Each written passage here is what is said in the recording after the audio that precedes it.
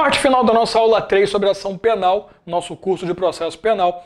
Vai ser um vídeo mais tranquilo, os outros três foram mais puxados. Esse aqui vai ser um vídeo um pouco mais rápido, mais prático, que nós vamos falar sobre a ação civil, a ação prevista entre os artigos 63 e 68 do CPP.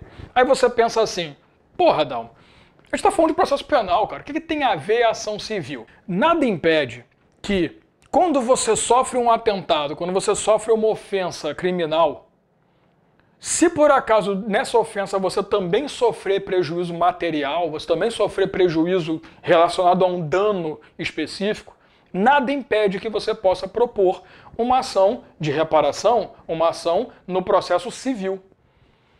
Então qual é a jogada aqui? Essa parte do CPP, ela vai trazer duas realidades para você. Uma é a chamada ação de execução ex delito, a outra vai ser chamada a ação civil ex delito. Na verdade, para provas de concurso, não há necessidade da gente separar. A técnica é que vai separar o que, que o artigo 63 e 64 falam. Mas para nós, concurso público, para nossa vida tranquila, vamos chutar o balde vamos atacar simples. Essa é a chamada ação civil ex delito. O que, que significa isso?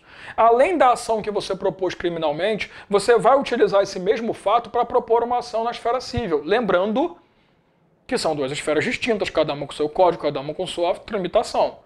Tá? Então, quer levar provas daqui para apresentar lá? Apresente lá. Não é levar, não. Apresenta outras provas lá, leva, apresentou aqui, apresenta aqui também, mas não são as mesmas, porque uma não interfere na outra. Tá? Mas entenda, a sua pretensão de reparação de dano no processo civil não fica afastada pelo simples fato que você apresentou uma ação criminal. Então, a chamada ação civil ex delicto, ela se liga na seguinte situação. Você tem todo o direito, repito, de apresentar paralelamente o processo civil. Não tem problema. Mas existe aquele caso em que você pode aguardar a sentença do juiz, pegar essa sentença condenatória e utilizá-la como motivadora para a ação civil. É aqui que está a grande jogada da ação civil ex delicto. É aquele cara que ele apresentou a proposta criminal ele tem a pretensão de reparação de dano civil, ou dano civil, chame como quiser. Ele espera o final do processo, pega aquela sentença, utiliza como um título executivo judiciário e propõe a execução na esfera civil e pede reparação. Deixa eu te mostrar isso na lei para você entender legal. Mas eu quero que você entenda o seguinte: o CPP prevê as duas possibilidades. Uma de você propor em conjunto. Você tem uma ação criminal e você propõe uma ação civil de reparação de dano. Nada impede. A outra é você ser espertinho, esperar e usar aquela sentença condenatória como base para você propor a ação civil. Porque o legal vai ser o quê? Se você fizer isso, esperar a sentença levar para o processo civil, nem vai ter processamento, porque você já tem um título executivo em mãos. É simplesmente mandar executar na esfera civil. Então é legal. Tanto é importante que, olha só, uma das coisas que eu vou te mostrar já. Eu já vou para a tela, né? Uma das grandes mudanças que aconteceu na lei é que esse título, além de ser certo e exigível, agora tem que ser líquido. E eu quero te mostrar exatamente como isso funciona. Muita atenção para o que eu vou te explicar em relação a isso, tá? Vamos para a tela logo, deixa eu te mostrar o início da ação civil, daqui a pouco a gente volta. Olha só, artigo 63 vai falar para você assim. Transitada em julgado a sentença condenatória, poderão promover-lhe execução no juízo civil para efeito de reparação de dano ofendido, seu representante legal ou seus herdeiros. Essa daqui é a chamada ação de execução ex delicto, pela técnica. Por quê? Porque é aquela que eu te falei. Você espera julgar a sentença condenatória, transitar em julgado, né? não cabe mais recurso, não cabe mais nada, sentença irrecorrível, pega aquilo e apresenta na cível. E aquilo vai fazer com que você não tenha um processo, porque você tem em mãos um título executivo judicial. Agora, olha o parágrafo único. Transitada em julgado a sentença condenatória, execução poderá ser efetuada pelo valor fixado nos termos do inciso 4 do caput do artigo 387 desse Código, sem prejuízo de liquidação para apuração do dano efetivamente sofrido. Eu vou te mostrar esse, esse artigo 387, inciso 4. O juiz, ao proferir sentença condenatória, inciso 4, fixará, peço atenção para isso aqui, valor mínimo para reparação de dano. Vem para cá. O que, que significa dizer que a sentença tem que ser certa, exigível e líquida? Sentença certa, você sabe quem é o detentor do direito. Você tem exatamente quem é o cara que vai ter a reparação ao seu favor. Exigível, claro que é um título executivo. Ele tem que ser um título que sirva para ser exigido o cumprimento dele. Mas a grande novidade é o líquido. Porque antigamente, o que acontecia? Você, não sei se você entende de processo. Você tem um processo chamado cognitivo. O que é esse processo cognitivo que a gente vai estudar pra cacete? É desde a proposta até a pro, você provar que existe, a apresentação de provas, testemunhos, blá blá blá, até a sentença. Que é o chamado processo de conhecimento também. Só que, às vezes, tem uma sentença proferida e o cara não cumpre. Você pode entrar no processo de execução, que é uma forma que você tem de pedir para o Estado para obrigar que aquela sentença seja respeitada. Tá? Mas o, o foco aqui é: eu tenho um processo de conhecimento criminal. Lá me deu a sentença, deu a sentença condenatória a meu favor, né, contra a pessoa que eu apresentei a ação penal. Transitou em julgado, não cabe mais recurso. Eu pego esse título e levo para execução no processo civil. Eu não vou levar para um novo processo de conhecimento. Porque eles entendem o seguinte: é lógico. Se ele foi culpado aqui, falta apenas reparação de dano. Então você lá vai pedir só a execução, você não pede abertura de processo civil para conhecimento do direito, não. E por que, que é ilegal o líquido? Porque antigamente o juiz só falava, ah, tá condenado, tá? tem direito à reparação de dano. Aí você tinha que entrar no processo de execução, mas tinha que pedir liquidação de sentença para tomar conhecimento de quanto, blá blá blá. O que, que essa mudança fez? Quando o juiz for preferir a sentença, além de tudo, ele tem que dar um mínimo, mínimo, que o autor da ação tem direito para reparação do dano sofrido. Mínimo. Isso significa que você vai ter, vamos dar um exemplo, um título judicial que sentenciou o cara e que disse que ele está me devendo 70 mil reais pelos danos causados. Eu posso pegar esse título e lá na esfera civil e falar, eu quero executar esse título no valor de 70 mil. Pronto, eu vou receber 70. Se você acha que esse valor está errado, que é um valor mínimo, que o juiz considera né, que é, é bom para resolver o seu problema. Se você acha que aquilo é pouco, você pode entrar com o título e pedir liquidação pedir para fazer uma análise para aumentar esse valor. Não, não é só 70. Eu quero que você faça a análise porque isso é maior. Nada impede. Agora, a regra é que o juiz, quando for proferir sentença condenatória, tem que dar pelo menos o valor mínimo para que esse título executivo seja é, líquido. Porém, existe exceção, claro. Né? A partir do momento que o juiz ele não tem em mãos informação suficiente para estabelecer um valor mínimo, ele vai ter que motivadamente na sentença dizer não foi estabelecido o valor mínimo por falta de informação necessária. Então, tem direito, só que é ilíquido. Eu preciso que seja levado ao processo civil para aí sim liquidar, entendeu? Então, cuidado que apesar da regra dizer que tem que dar o valor mínimo, nem sempre ele vai dar. E se ele não der, ele vai ter que motivar, vai ter que explicar o porquê não o fez.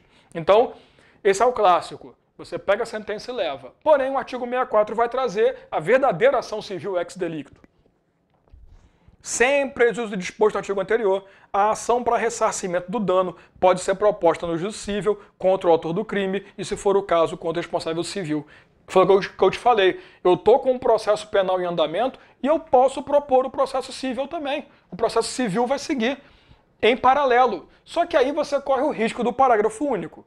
Intentada ação penal, o juiz de ação civil poderá suspender o curso desta até o julgamento definitivo daquela. Então o que, que o artigo 64 me diz aqui? Se eu quiser, eu posso apresentar. Só que nada impede que o juiz lá na esfera civil chegue e fale assim, fale assim: vou suspender o processo, porque eu quero aguardar a decisão na esfera penal. Então você corre esse risco. Você pode apresentar os dois processos em paralelo. Mas o juiz da esfera civil pode pedir a suspensão do processo para aguardar. Claro que esse pedir suspensão também não é por 30 anos. Se demorar muito lá, ele vai ter que decidir aqui. A gente não vai entrar muito nessa seara de um ano, tá? a gente não vai entrar muito nessa seara, não. Mas a intenção é que ele aguarde. Então, eu tenho dois caminhos. A ideia é que eu tenho dois caminhos. Ou apresento em paralelo, ou eu aguardo o criminal acabar, transitou em julgado, eu pego aquela sentença e transformo ela num título executivo judiciário. Levo para o civil e vamos executar. Só que tem um detalhe. Dalmo, e se por acaso, lá no final do processo criminal, o cara for absolvido? Isso significa que eu não tenho direito à reparação de dano? Não. A regra é que a absolvição no processo penal não gera automaticamente coisa julgada no cível. O que, que significa isso? Ele não diz, só porque lá ele foi absolvido, que eu não tenho direito à reparação. Então, a absolvição criminal não afasta o meu direito de propor uma ação civil de reparação. Porém, eu tenho exceções. Óbvio. É óbvio. E eu vou te mostrar isso na tela. Vamos começar porque, olha só, eu tenho a situação, tenho a exceção e tenho a exceção da exceção. Você vai gostar. Vamos lá. O artigo 65 fala assim: faz coisa julgada no cível a sentença penal que reconhecer ter sido o ato praticado em estado de necessidade, legítima defesa, estrito cumprimento do dever legal ou exercício regular do direito. Artigo 66. Não obstante sentença absolutória, ou seja, aquela que absolveu no juízo criminal, a ação civil poderá ser proposta quando não tiver sido categoricamente reconhecida inexistência material do fato. Então vamos lá. Quais são as exceções que eu tenho? Se o cara for absolvido por alguma excludente de ilicitude, e aí eu não vou entrar nessa história, que isso daí é direito penal. Estado de necessidade, legítima defesa, se ele cometeu aquele ato, mas cometeu nessas excludentes, automaticamente a absolvição dele aqui faz coisa jogada no cível, eu não posso pedir reparação. Segunda situação, se por acaso for categoricamente dito que não ocorreu o fato. Porque olha só, não confunda inexistência de tipicidade com inexistência do fato. Uma coisa é o juiz resolver o mérito dizendo está absolvido porque não aconteceu nada. Outra coisa é o juiz falar assim, ó, está absolvido porque não existe tipificação penal para o que foi dito contra você. Deu para entender? Nesse caso, eu não estou dizendo que não existe categoricamente o fato, eu estou dizendo que não existe a tipificação penal mas nada impede que lá no cível tenha uma previsão de reparação de dano pelo ato cometido. Então, não é simplesmente o cara falar o fato não existe. Ele pode falar o fato não é previsto. Isso me dá direito de propor na ação civil. Porque se no penal não é previsto, pode ser que no civil tenha previsão. Agora, se ele disser o fato não aconteceu, não teve nada, isso aqui é coisa da cabeça desse maluco, faz coisa julgada lá. Então, vamos lá. Regra: a absolvição criminal não gera o, a perda do direito de reparação civil, salvo a inexistência do fato categoricamente explicitada pelo juiz na decisão e excludente da ilicitude, legítima defesa, estado de necessidade, é, restrito cumprimento do dever legal, aqueles que você conhece no direito penal. Porém, existe exceção da exceção. Na legítima defesa e no estado de necessidade. Porque olha só, a regra, acabei de te falar. Legítima defesa gera é, coisa julgada no cível. Porém, se por acaso você cometeu um erro de execução na legítima defesa, vai ter direito à reparação de dano sim. Tá, Dal, me dá um exemplo aqui na legítima defesa por erro de execução. Imagina aqui você vê um cara vindo na sua direção armado, preparado para atirar em você. Aí você tira a sua arma, legítima defesa. O cara tá apontando, tá lá gatilho, sabe? Você vê igual filme, devagarinho apertando. Tu pega a tua arma e atira. Só que você é tão bom quanto eu de tiro. O tiro que você dá acerta outra pessoa. Aí o cara se assustou e foi embora. Beleza. Você tem legítima defesa aí? Tem. Contra o autor, não contra a pessoa que não tinha nada a ver. Então, quando você tem legítima defesa por erro de execução, você vai ter que responder sim por reparação de dano. Essa pessoa vai ter direito de pedir reparação de dano contra você. Aí você tem direito de ação regressiva contra o autor, tá? Porque pensa no seguinte, eu atirei naquela pessoa, ela me pede reparação de dano, mas eu só atirei por culpa do cara que me, me que me ameaçou. Então eu posso pedir ação de regresso contra o cara que me ameaçou. Olha que loucura. Mas pode acontecer. Então, legítima defesa, na hora da prova, se ele colocar lá, legítima defesa faz coisa julgada na área, na, na, em causa civil, perfeito, faz. Salvo legítima defesa por erro de execução. No caso de erro de execução na legítima defesa, não faz. Aí eu passo a ter direito à reparação de dano normal. Deu para entender a pegada?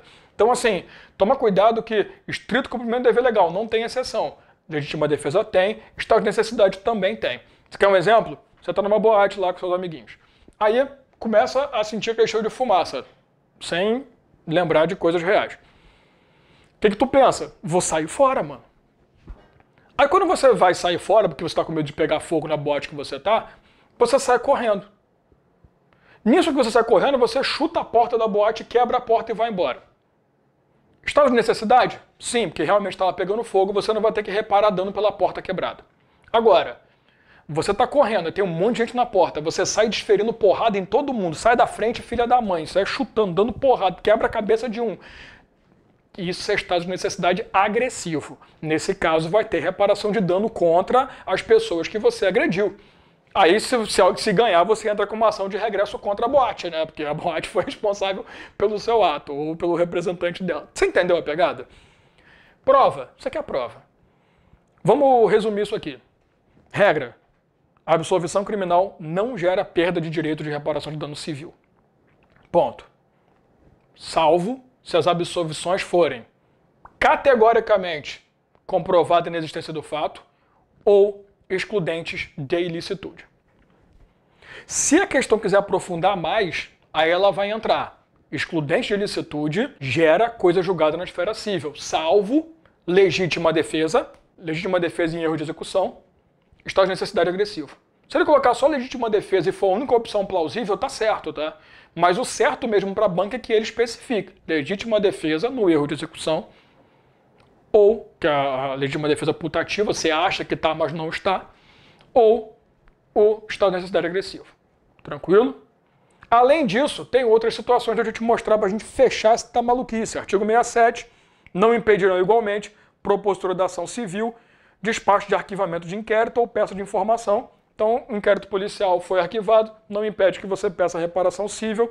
Decisão que julgar extinta punibilidade, então, se por acaso o cara extinguir a punibilidade, que aí já não é excludente de licitude, é excludente de punibilidade, direito penal também te ensina. Isso não te impede a pedir reparação. Cuidado, hein? Excludente de licitude faz coisa julgada, salvo estado de agressivo, legítima defesa de execução. Você já sabe, né? Até falei rápido.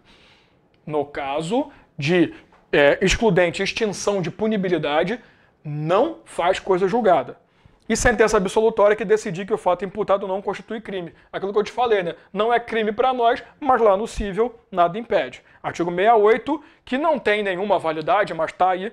Quando o titular do direito à reparação de dano for pobre, a execução da sentença condenatória ou ação civil será promovida a seu requerimento do Ministério Público. Bom, como já está previsto no artigo 129 como uma das atribuições do MP, não há necessidade nenhuma desse artigo, então ele não vai cair na tua prova. Tranquilo? Cuidado com esse assunto, que apesar de nem ter que estar tá no teu edital, tá? tem que estar tá lá, ação civil ex delicto, senão não pode cair. Estando, vai cair. Pegou? Tranquilo? Vamos parar por aqui. Aula 4 a gente vai entrar em competência, jurisdição e a gente começa outras brincadeiras. Um abração.